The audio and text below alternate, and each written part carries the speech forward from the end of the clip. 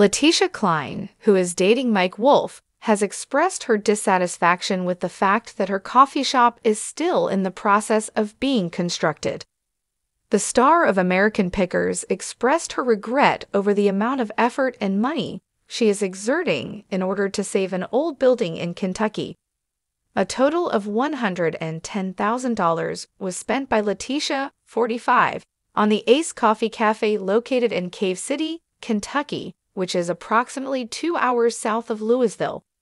As of right now, the competition is on to finish the renovations in time for the business to open on March 29, which is the date that was originally planned. The race seemed to be going closer and closer to Leticia. Over the course of the weekend, Leticia posted a number of Instagram stories in which she updated her followers on the current state of the continuing reconstruction project, while also expressing her frustration with the expenses and the obstacles that have been encountered. When Leticia was celebrating the completion of the brickwork around the outside windows, she vented over a vision of the original building, which was in a state of disrepair. The building has been there for four years, she wrote. Just so you know. I had at long last had the brick I needed for the windows cut in. Since that time, I have installed more than 20 doors and windows. This has been a long and very, very, very expensive road, saving a hundred year old building, but it's so worth it. Exercise is required to be made. Over the course of the weekend, Leticia posted a number of additional photographs and once again voiced her dissatisfaction with the sacrifices she has made for the project. In one of the pictures, the model displayed the newly renovated bathroom of the shop, which she referred to as the cutest. The bathroom had orange walls and a decor consisting of flowers and skulls. In addition, Leticia displayed a lit up sign that she had reused to include the name of the shop and she also brought a photograph of an artist painting a sign on the front of the building. When compared to the prior appearance of the property, which she exhibited in the next photograph, it consisted of a comprehensive refurbishment.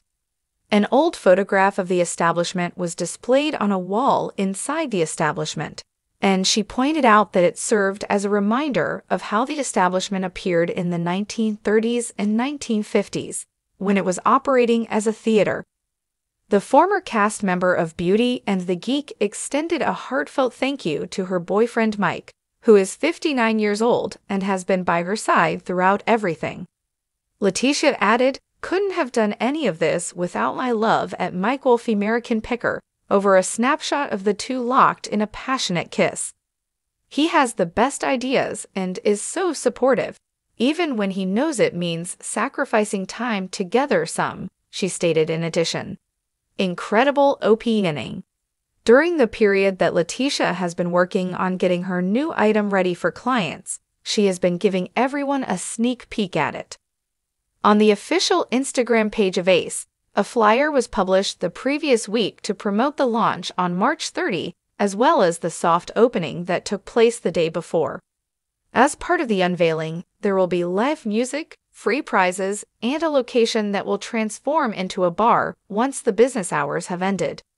The entire day is filled with freebies and other activities. According to the caption, come stay with us all day as we are the only cafe in town that offers everything from coffee to cocktails for you to enjoy either inside or outside in our outdoor pocket park that also serves as a music venue.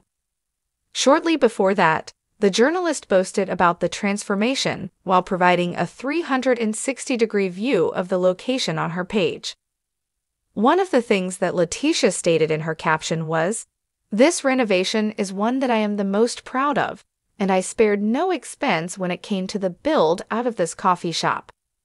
Leticia purchased the commercial property on July 16, 2021, according to an exclusive article that was published by the United States Sun earlier this month. Approximately $110,000 was the price at which the mother of one purchased the property, as indicated by the property records.